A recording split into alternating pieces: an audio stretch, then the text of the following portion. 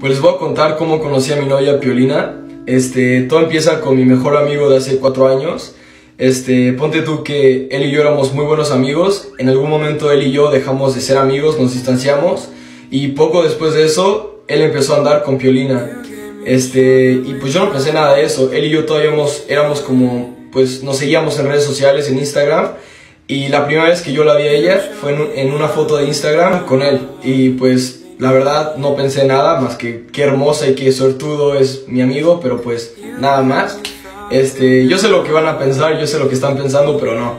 Este, ella, este, después de siete meses que ellos anduvieron, este, Piolina terminó con él porque él la, trata, la trató muy mal. Y pues ya, de ahí nada pasó. Eh, él y yo seguíamos sin ser amigos, todo normal.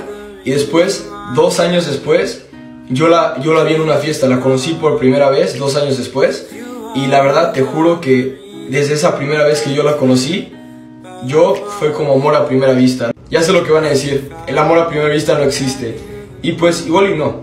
Pero te juro que nunca en la vida había conectado con otra persona como conecté con Piolín esa noche. Estuvimos, nos las pasamos toda la noche hablando, te juro que hasta que amaneció, eh, no hicimos nada, pero simplemente hablando con ella, conociéndola, yo me enamoré. Te juro que siento que esa noche que estuve con ella, la primera noche, yo me enamoré.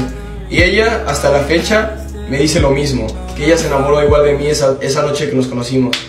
Y la única intención que en verdad yo tengo con Violina es eh, tener un futuro con ella, casarme, construir algo. Eh, he, estado con ella por ya dos años y medio y no creo que esto vaya a terminar. Eh, espero que no. La verdad, no sé qué pase en el futuro, pero yo espero que no. Yo sé lo que van a pensar. ¿Le bajaste la novia a tu amigo? No. Él ya no era mi amigo. Eh, sí, le agradezco y lo voy a agradecer toda la vida porque por él yo supe quién era ella, por él yo le hablé y por él hoy estoy aquí en casa de Piolina hablándoles a ustedes.